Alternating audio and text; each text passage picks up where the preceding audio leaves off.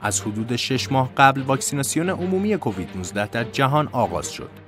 در این ویدئو به بررسی تجربیات 6 ماه نخست واکسیناسیون کرونا در جهان و برخی پرسش های مربوط به آن می‌پردازیم. کارایی واکسن ها چقدر بوده است؟ پس از آغاز واکسیناسیون عمومی در جهان، اثر بخشی واکسن های مختلف کووید 19 توسط سازمان بهداشت جهانی، مقامات کشورها و مجلات علمی معتبر اعلام شد.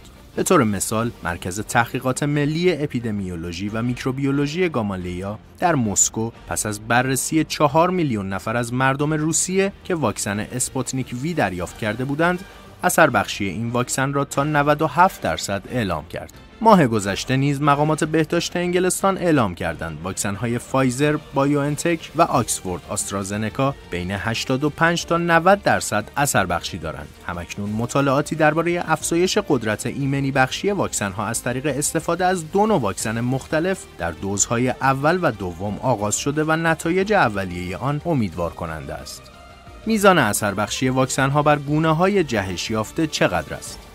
پس از آغاز واکسیناسیون عمومی در انگلستان گونه جهش یافته از ویروس کرونا موسوم به آلفا در این کشور مشاهده شد. این گونه که قدرت انتشار بالایی داشت نگرانی تازه ای در جهان به وجود آورد. پیش از ظهور گونه آلفا نیز نسخه ای از ویروس کرونا با نام بتا برای نخستین بار در آفریقای جنوبی شناسایی شده بود. این گونه دارای جهش هایی در قسمت پروتئین میخی شکل ویروس بود و نگرانی ها از عدم کارایی واکسن ها در برابر آن را افزایش داد. چرا که اکثر واکسن ها همین پروتئین برای ایجاد ایمنی استفاده می کنند. زمانی که گونه بتا باعث افزایش قابل توجه مبتلایان در آفریقای جنوبی شد، آزمایشات بالینی نشان داد واکسن آسترازنکا تأثیر بسیار کمی روی آن دارد.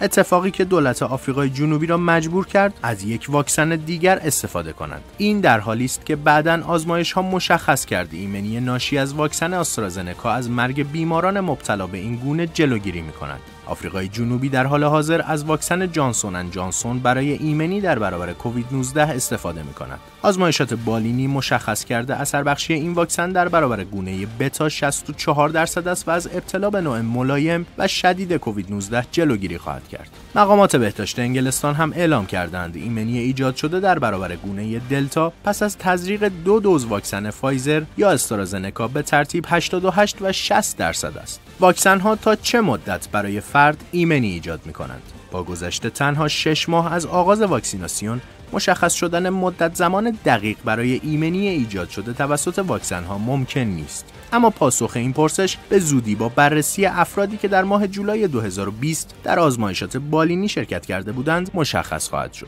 مطالعه ای که بر روی بیش از 25 هزار نفر از کارکنان بخش سلامت انگلستان که به کرونا مبتلا شده و بهبود یافتند نشان می‌دهد احتمال ابتلای مجدد این افراد دست کم به مدت 7 ماه تا 84 درصد کاهش پیدا می کند. برخی بررسی ها هم نشان می‌دهد سطح آنتیبادی در افرادی که واکسن مدرنا دریافت کرده اند سریعتر از افرادی که از کرونا بهبود یافتهاند کاهش پیدا می کنند.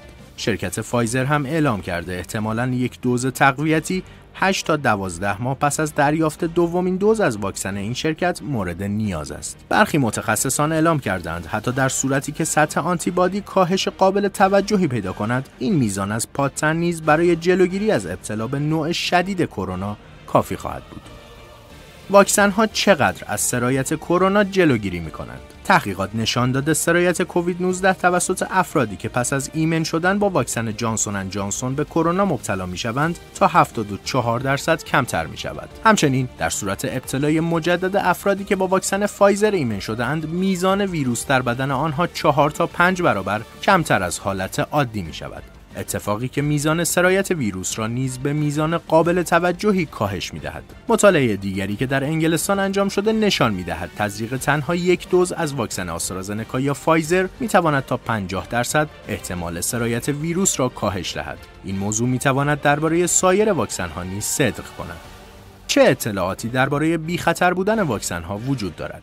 تا کنون به غیر از اثرات جانبی معمول واکسن های کرونا مانند درد محل تزریق، حالت تهوع و تب، سایر اثرات جانبی به میزان محدودی گزارش شده است. به طور مثال، کمی پس از آغاز تزریق واکسن فایزر، مواردی از یک واکنش شدید آلرژیک با نام آنافیلاکسی گزارش شد. تحقیقات بیشتر نشان داد. میانگین خطر بروز این نوع آلرژی در تمام واکسن ها از یک میلیون نفر تنها یک و سه دهم نفر است. اما نگرانی جدیتر گزارش هایی درباره بروز یک آرزه بسیار نادر یعنی لختگی خون پس از دریافت واکسن های آسترازنکا و جانسون ان جانسون بود. آرزه ای که نخستین بار در اروپا و پس از تزریق واکسن آسترازنکا گزارش شد.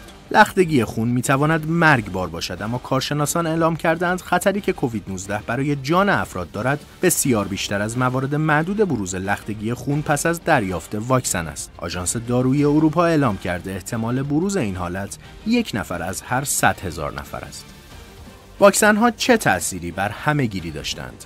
کشورهایی مانند آمریکا و انگلستان که نرخ بالایی از نظر واکسیناسیون دارند شاهد کاهش قابل توجه میزان مرگ و میر و بستری های کووید 19 هستند. برای مثال تخمین زده شده که واکسیناسیون گسترده در انگلستان جان 13 هزار نفر از افراد 60 سال به بالا را نجات داده است. انگلستان بیش از یک سوم جمعیت خود را به طور کامل واکسینه کرده است.